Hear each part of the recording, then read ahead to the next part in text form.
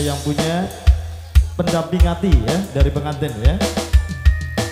Ibu Haja boleh dong.